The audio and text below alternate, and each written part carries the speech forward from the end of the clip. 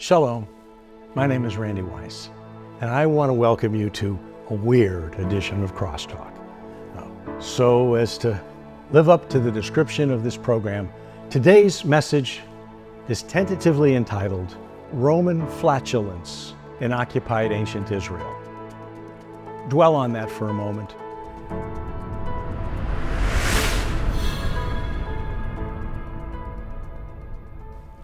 Whereas I usually discuss particularly Christian stuff or fascinatingly Jewish stuff, whoopee! As you can tell from the title of this message, today you will get it all. And I will also bring it home for any red, white, and blue patriots in my audience. In case there are any flaming liberals, cockeyed communists, or pathetic politicians that are watching, I have subtitled this episode just for you. Part heard round the world. Even those of their ilk should be able to grasp the flavor of this message. Take notes, I promise to provide you with a history lesson that may clear the room. As a minimum, it will clear some of the fog of history.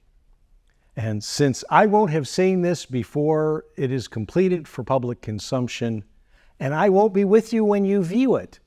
Allow me to apologize in advance for anything my producers do to enhance the graphics for this program. Sometimes they just act like seventh grade boys instead of college graduates who get to play with highly sophisticated TV production software.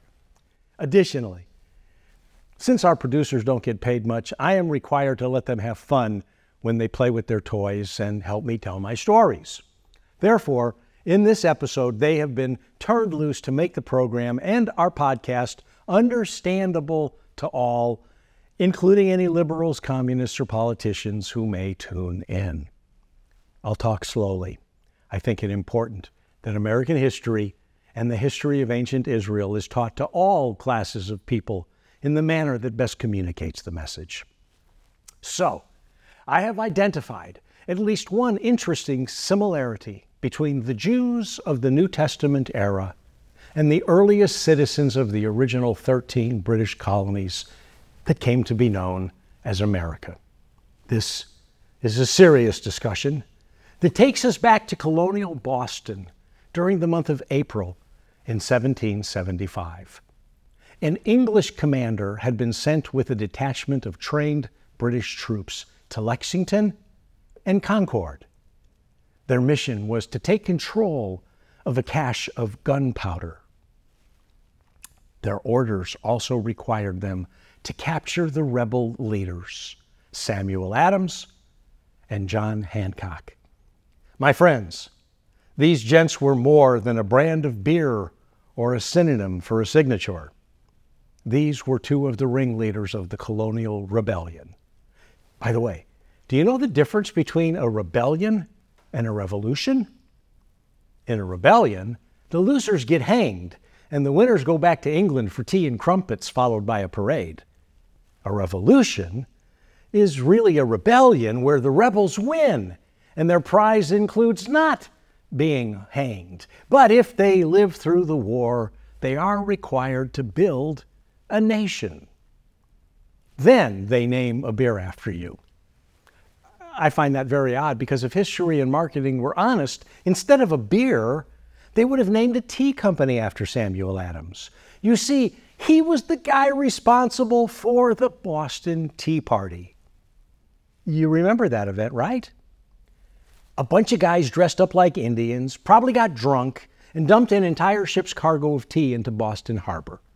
Well, actually, since they were risking their lives by destroying all that tea owned by the British, they probably waited until after the party to get drunk so they could avoid being murdered by the redcoats or falling off the boat before they fell off the wagon, if you know what I mean.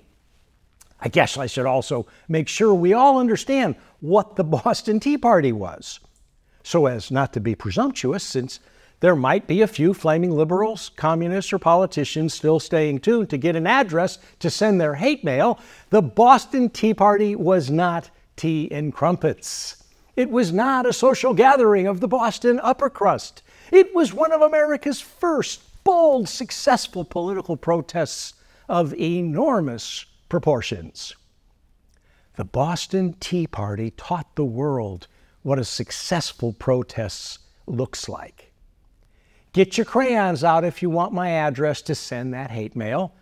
They didn't loot the Apple store, they didn't burn the police station, and they didn't cry like overindulged, over entitled, spoiled pansies that cry when a conservative speaks the truth near one of their overpriced campuses, so the pansies can flock to their deluded lecture halls to get their indoctrination and emotional support from their communist professors for as long as their parents will pay their tuition.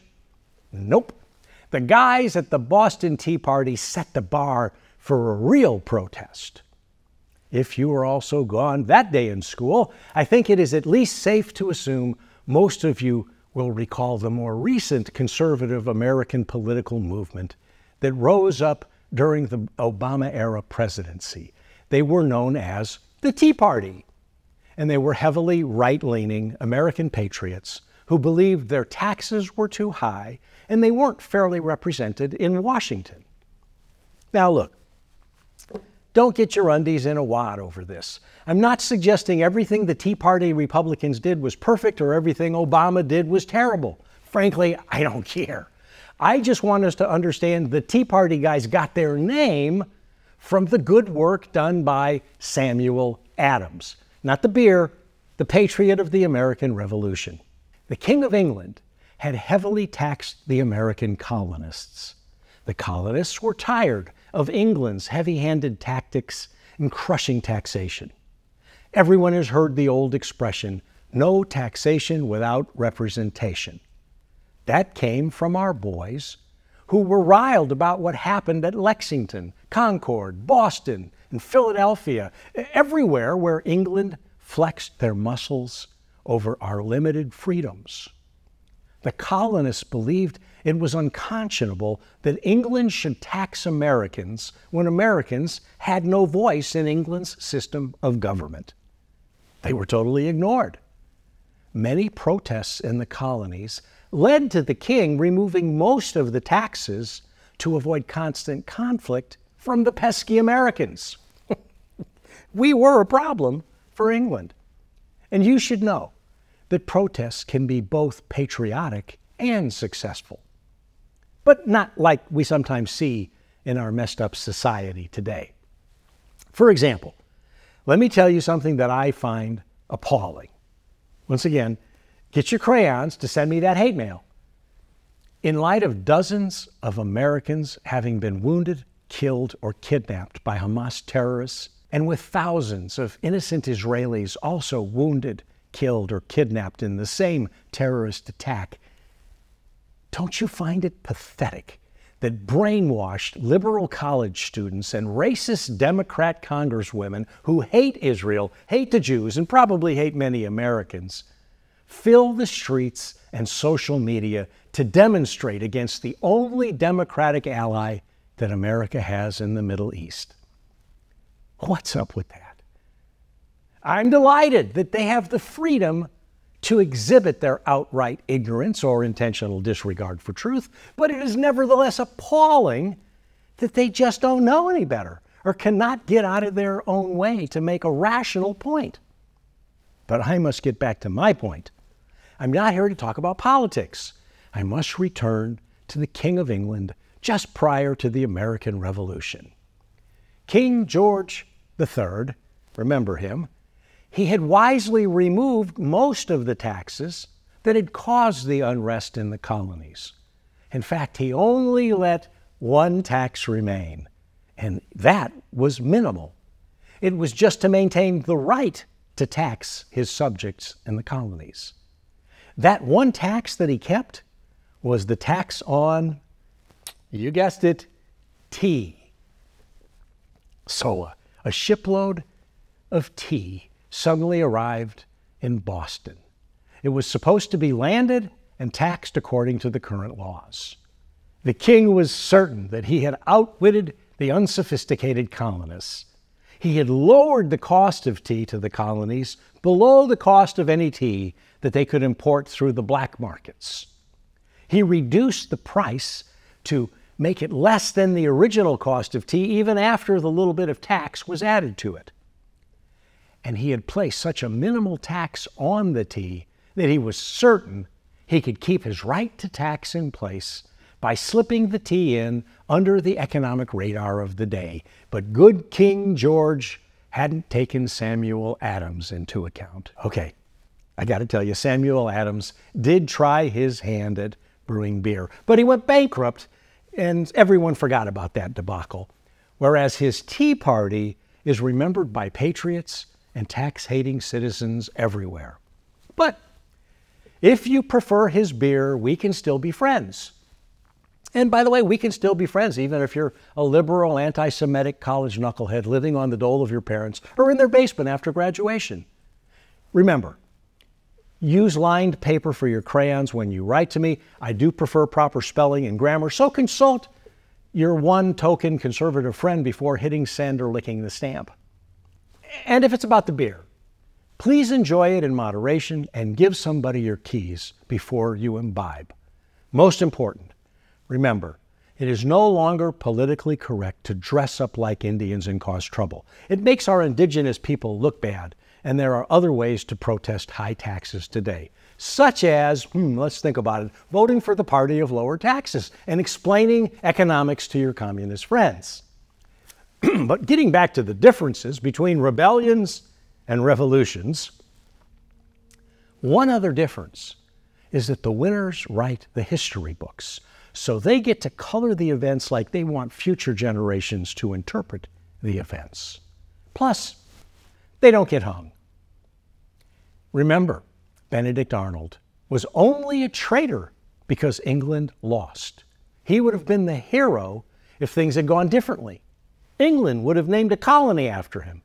Instead, no self respecting American would name their cat after him. Well, I might because of my attitude toward cats. But that's a different story and wouldn't do much to increase our viewership or our pleasant repartee on social media. Just in case you were gone from school the day your history teacher discussed Benedict Arnold, he was a highly respected American general during the Revolution. George Washington trusted him so deeply that Benedict Arnold was put in charge of West Point. Arnold made a secret deal with the British to surrender West Point. But his plot was discovered, and he became known as one of America's most hated traitors. But everything must be kept in perspective. The British, well, they paid him a handsome sum and made him a brigadier general in the army that lost. I guess he could have also served the French, who rarely won a war or anything requiring soldiers except perhaps some, I don't know, some girly uniform red carpet catwalk awards. Before people from across Europe begin to hate me, I want to get back to the topic of the revolution. It was at Lexington. You remember Lexington and Concord? April 1775, where the American soldiers were later memorialized as the Minutemen. These were the guys who were ordered to disperse by the British Redcoats. They didn't move fast enough, and shots were fired, killing eight Americans, better known at that time as colonists. The maddened Americans stood up, fought back, and forced the British to retreat at Concord. It was a big deal. It was a historic moment. Some might call it the beginning of a nation. Ralph Waldo Emerson immortalized the event in a famous poem, the Concord Hymn he wrote, By the rude bridge that arched the flood, their flag to April's breeze unfurled, here once the embattled farmers stood and fired the shot heard round the world. Please remember this passage. It is well known. The shot heard round the world. You might wonder why this is relevant to a message about the Jewish origins of the church? Well, it goes like this, and I'm finally getting to my real point. Ancient Israel was an occupied land dominated by Rome, in much the same way that colonial America was an occupied land dominated by England. I trust you can begin to see the similarities when viewed in this context. World powers have the might and propensity to do things like colonize, tax, enslave, dominate, repress, oppress, or suppress. The early churchmen were embroiled in a rebellion, much like the founding fathers of the great nation of America. You should know that many Jewish patriots also fought in the American Revolution. And this probably helped change the course of American hatred of the Jews because America hated the Jews.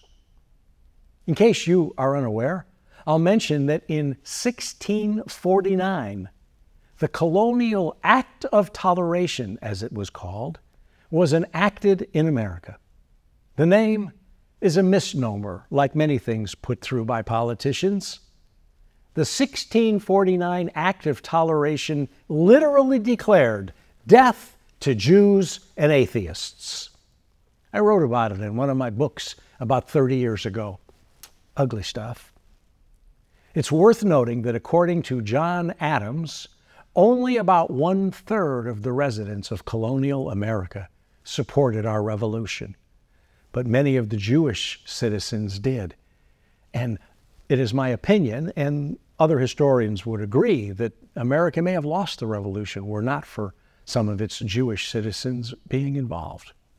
But the point about John Adams' comment that one third of the colonial Americans supported the revolution, it means that only uh, it was a small minority. Two thirds of the colonists, the great majority, were opposed to American independence. I wrote about that too.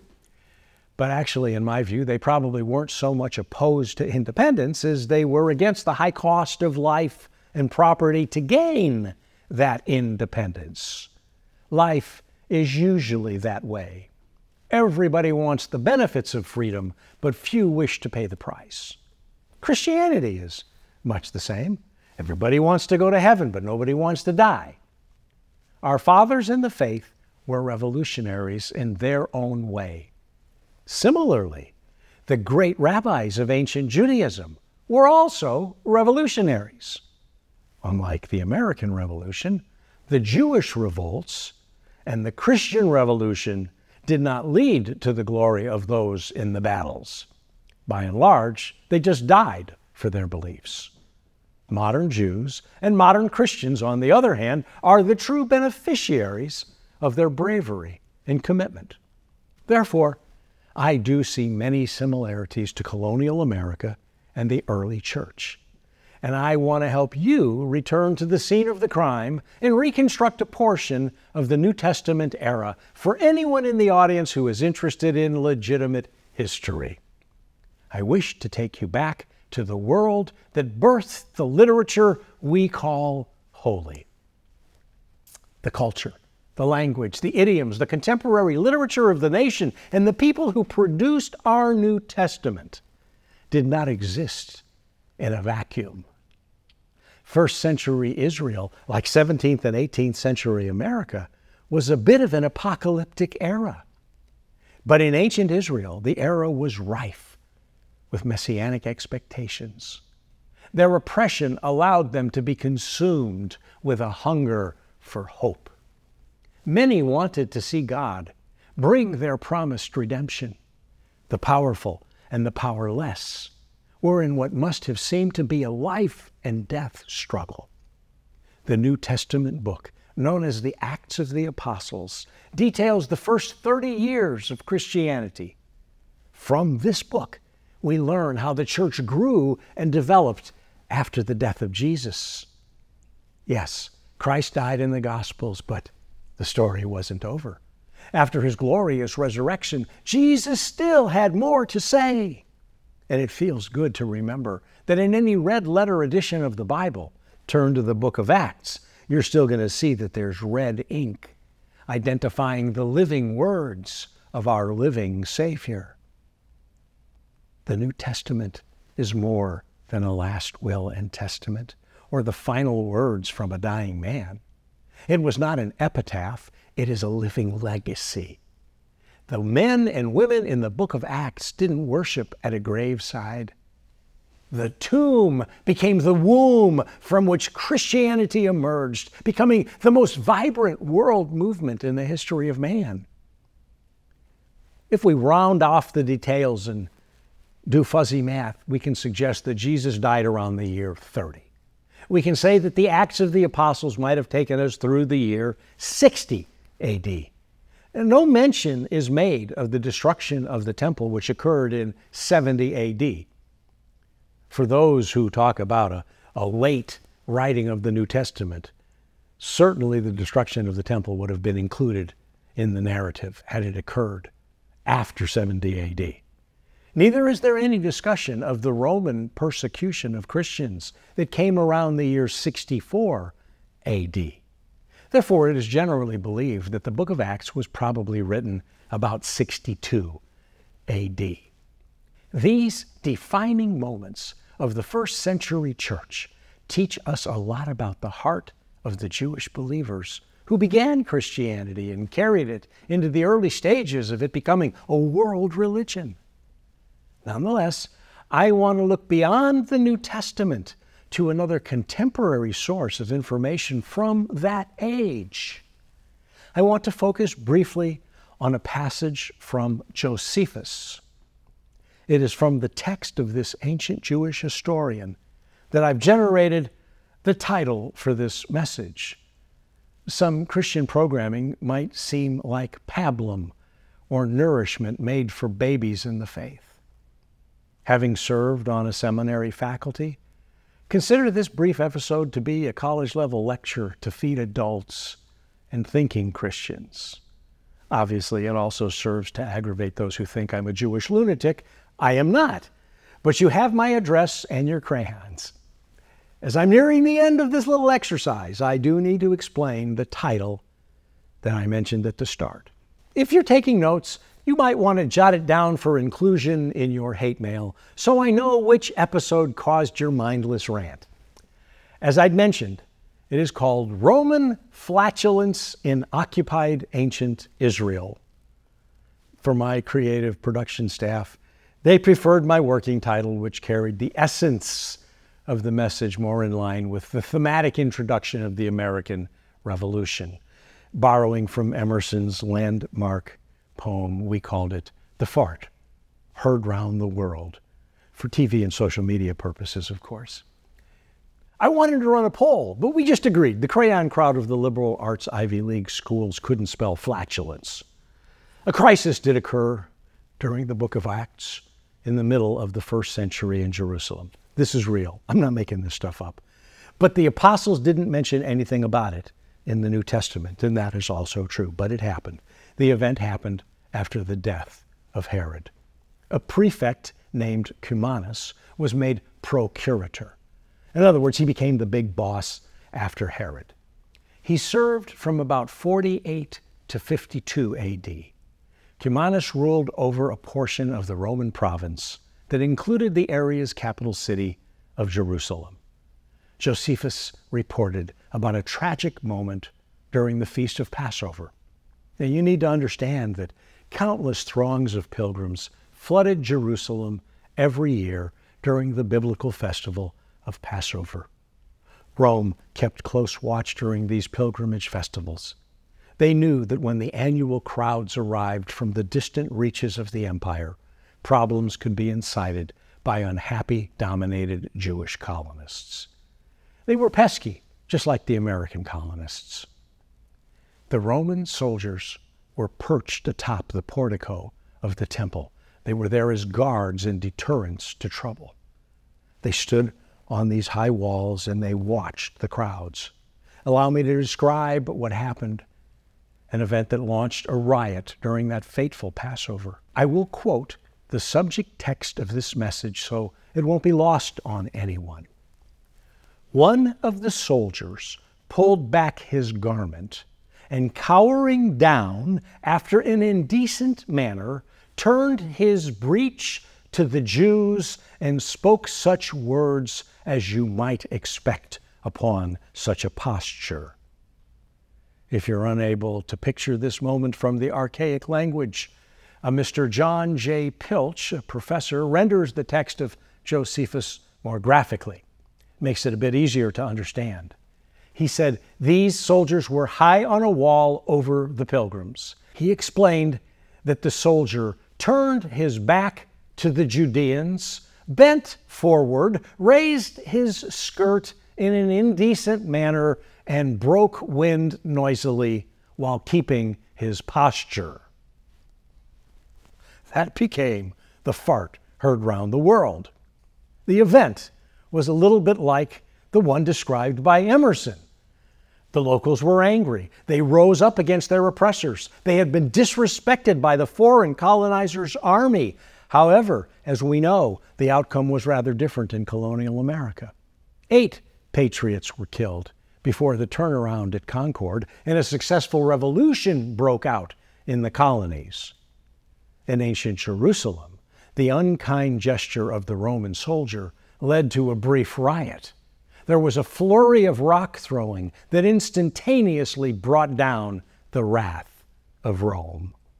The soldiers began driving pilgrims from the temple with such a rage that as the Jews ran for their lives, literally 10,000 Jewish citizens were crushed to death.